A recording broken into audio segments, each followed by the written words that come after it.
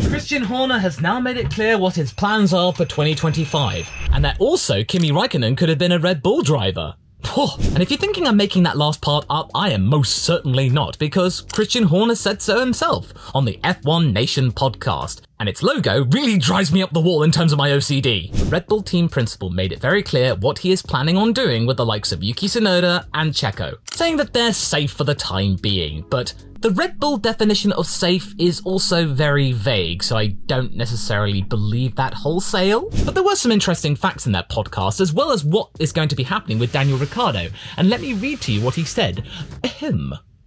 At the moment, there's only something in place until the end of the season, so there's no thoughts or expectations beyond that. We've loaned him to AlphaTauri to the end of the year. Obviously, uh huh. Our drivers are going to be Max and Checo again next year, but it's always good to have the talent in reserve. Oh, yes, of course, in reserve not using them as some kind of barometer or stick. And by going to AlphaTauri, I think he sees that as his best route of stating his case for 2025. So okay, that statement got me thinking. It really got me wondering about what the game plan is for Red Bull at the moment, now that they actually have the ideal drivers that they want, and they've gotten rid of the driver that basically was part of some kind of impulsive spur of the moment thing, to broadcast to everyone else and the media that Daniel Ricciardo's not replacing anybody, calm down, he's not going to be making any surprise twists anytime soon. Well, what do you think we saw last week? That was a surprise twist! But in all seriousness, this is just a public relations exercise to assuade any idea that anything else could happen. This is just Christian Horner giving an old mate a drive in a car. You know, give a good old friend a favour. This interview is just giving me really big ideas about what could happen for a Netflix movie about Daniel Ricciardo's career.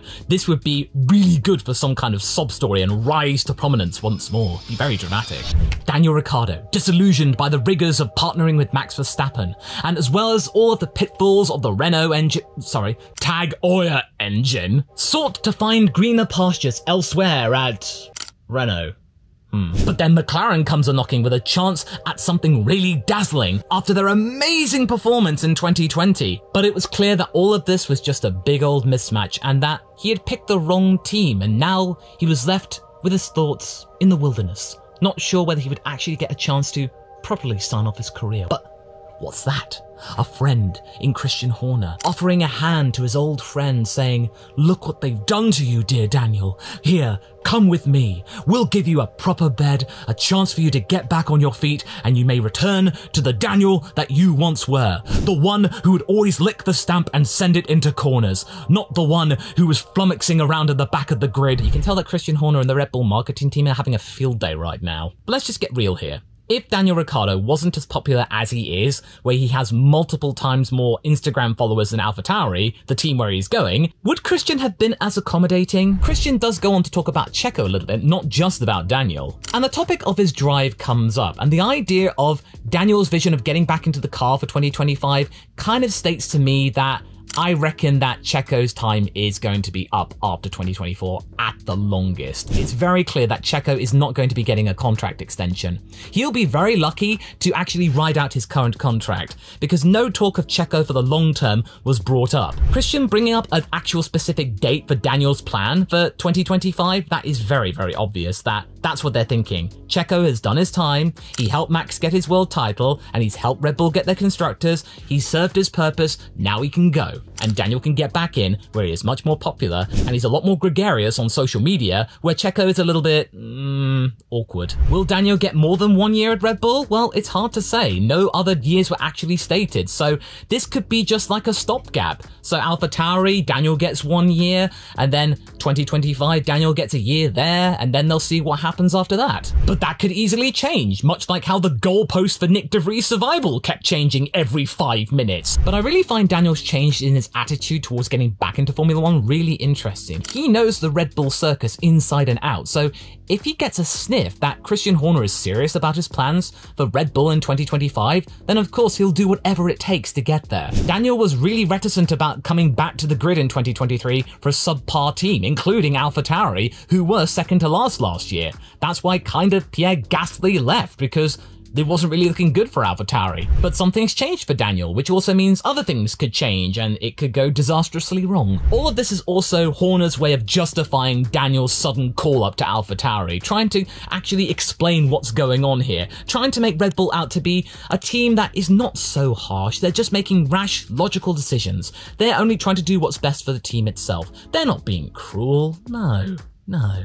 Maybe Daniel's influence and positive attitude might be enough to get AlphaTauri off the bottom of the constructors table, push Alfa Romeo down there, who at the moment themselves seem to be in a state of flux as they transition from Sauber to Audi. So AlphaTauri get back to ninth place perhaps, try and match what they did last year, get Daniel's smile across the team. That might be a boosting influence in of itself to try and make sure that you don't have a Red Bull sandwich where they top the table and then bottom the table. I'm really worried about Daniel Ricciardo being made out to be a bit of a fool if he does not score points on debut, because the media are very impatient, and if he does not score points and he's not close to scoring points, they are going to turn on him immensely, and then say to Red Bull, what on earth were you doing bringing him back? Of course, some drivers do take a while to warm up, and we really should be patient with them, including rookies. He's not been driving for seven months, so you should give him a little bit of time to warm up and get reacquainted with this new team, right? Right? Well, what about Nico Hulkenberg, eh? Remember back in Silverstone 2020? He was actually doing pundit work for German TV. He then got the call up to Racing Point to help out, be a super sub. Then he got P3 in qualifying and he did really well in the race. Immediately. And that came from Nico Hulkenberg. So Daniel Ricciardo, in that light, surely he'd do better than that. Now, of course, the Racing Point was the third fastest car in that year. I don't want to get into the rest of that. But yeah, people will be thinking, oh, surely Daniel can score one point at least. The media will be baying for blood if he doesn't, and I bet the next couple of races are going to be really hard for Daniel's psyche. And this is this is another reason why I think they should have waited for the summer break, because all we're going to get is Daniel being a bit subpar to what the media is expecting, and then we're going to have a summer break. Four weeks, no, no, six weeks actually, of wondering about whether it was the right call for them to call up Daniel so soon. Oh, maybe all of that tyre testing wasn't really substantial enough. Maybe they pulled another Nyck de Vries again. Oh dear. You see, it's going to be a lot of speculation over that summer break, whereas if they waited till Zandvoort and then did it, okay, if Daniel didn't do that great, then he's got another race to actually step up again. There'll be less pressure and less speculation when nothing gets done. Everything shuts down with those teams. You can't work the simulator, you can't make upgrades, you really can't do all that much. So Daniel won't have much chance to get in that AlphaTauri simulator and try and learn what he's already actually experienced on the track. Now, I know you've been waiting patiently. I want to talk about briefly what I was mentioning about Kimi Raikkonen at the beginning. In 2014, before Daniel Ricciardo got the call up to Red Bull, in 2013, they were actually considering the likes of Kimi Raikkonen, him being the favourite to join Sebastian Vettel in 2014 for Red Bull for the longest time. They even tested out Carlos Sainz. Now that was really interesting in of itself, and how Kimi Raikkonen might have actually emulated the 2015 Ferrari lineup one year earlier at a different team. Now, Kimi Raikkonen at Red Bull. Wow. The Red Bull was better than that Ferrari of that year, so, mm. But what about Ferrari? Who would they have had partnering Vettel? Well, maybe uh, Esteban Gutierrez, their reserve driver? Or would Vettel have actually left Red Bull and gone to Ferrari? Because, you know, partnering Raikkonen, I think Vettel would have had less pressure, so we might have had Vettel going on for even longer. Then we might have had Vettel and Verstappen together. oh, Ooh, spicy. Back to the main topic. Here are three paths I think could occur for the AlphaTauri Red Bull mess. Now we've actually heard more from Christian Horner about the game plan. Okay, Daniel goes like the clappers. He is actually fast right out the gate, and they're able to do enough to get AlphaTauri above Alfa Romeo and the constructors. Then what? The success of one leads to the downfall of two. If Checo doesn't pull his socks up and he continues not getting into Q3, and if Daniel just continues to improve and improve in a really inferior car, which has been really, really tricky this season, that not even Yuki Tsunoda can score many points and he's really tenacious, then it's just going to bring Checo into sharper and sharper relief. He could be toast sooner than expected in 2024. They might not care about the contract, they might just rip it up. And I think the party line is going to be something really interesting and a way to actually get Red Bull off the hook. Let me read you what I think would be a simulated Christian Horner quote about the situation if it would happen. Hmm. oh, well, we did all we could. We tried to help Checo through his problems, but in the end, we can't be leaving points on the table. Especially going to next year where our competitors will be more clued up with the regulations. Yeah, They're going on the idea that all of this mess is nothing to do with the car, it's all to do with Checo being too hard on himself. All of this being self inflicted. He is doing this to himself and therefore he's bringing down the team. And this team, the top team, can't be doing with any of that, even though they are actually leading the constructors without Checo's points. That's how I think they will spin this if it all goes awry for Checo. Not to mention Yuki. Yuki's actually been saying recently he's not looking anywhere else for a race seat. He seems quite content the where he is and that everything will work out for him. Well, if Daniel blitzes him and he does get the call up to Red Bull either next year or the year after that, Yuki better get himself comfortable with AlphaTauri or whatever it's going to be called because that's what happened to Gasly. He's going to be there for the rest of his career until he decides that he's had enough and he goes elsewhere. Maybe Honda will give him the call up at Aston. They'll call up Daniel next year to have a much steadier campaign in case the rest of the grid has improved. Alright, Daniel performs alright, but all of this actually has the desired effect for Checo and he improves mightily for the rest of the season, constantly getting podiums, constantly being in the top 5, or maybe even getting 1-2s and a win for himself. Daniel will most likely stay at AlphaTauri for 2024, but I feel like Checo will probably leave the year after that anyway because his contract will be up and they won't look to extend it.